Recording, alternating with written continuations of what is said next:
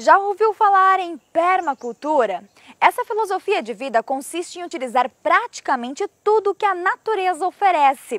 É só usar a criatividade e, com pequenas atitudes, obter grandes resultados. Imagine você vivendo numa casa quase que autossustentável, onde tudo que a natureza oferece é reutilizado, desde a água da chuva até outros produtos que geralmente iam parar no lixo.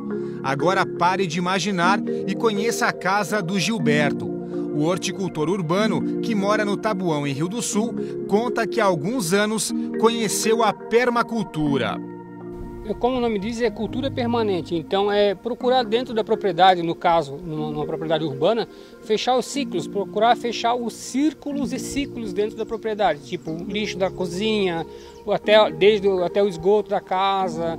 Se tu puder dar um jeito na, na, no esgoto da, da, da, água cinza, as águas cinzas e as águas negras, fazer direcionamento disso, a permacultura procura dar esse respaldo para o pessoal que mora na cidade também, né?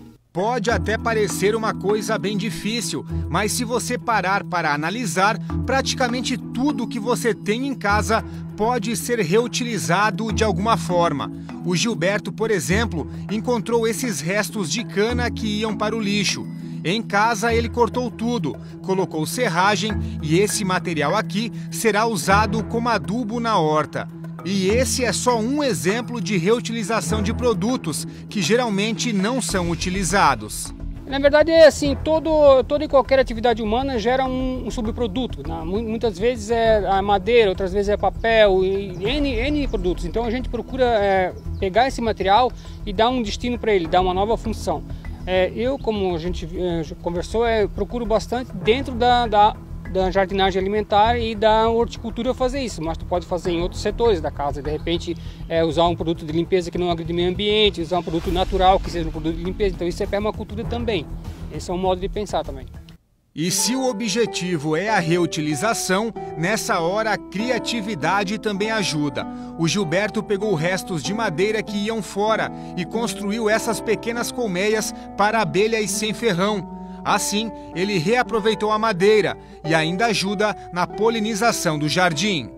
Sim, a, caixa, a própria caixa da abelha foi feita de material reutilizado. Então foi material que estava num depósito de madeira que provavelmente ia ser queimado ou ia ser triturado para usar para algum outro fim.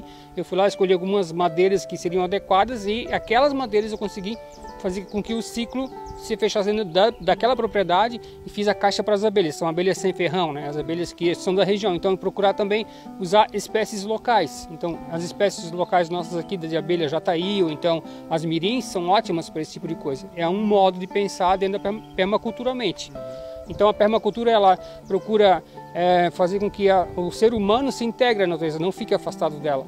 O objetivo é reutilizar praticamente tudo que você produz em casa, desde a água da pia até aquilo que já está na horta. E esse tipo de trabalho também pode ser feito em áreas urbanas.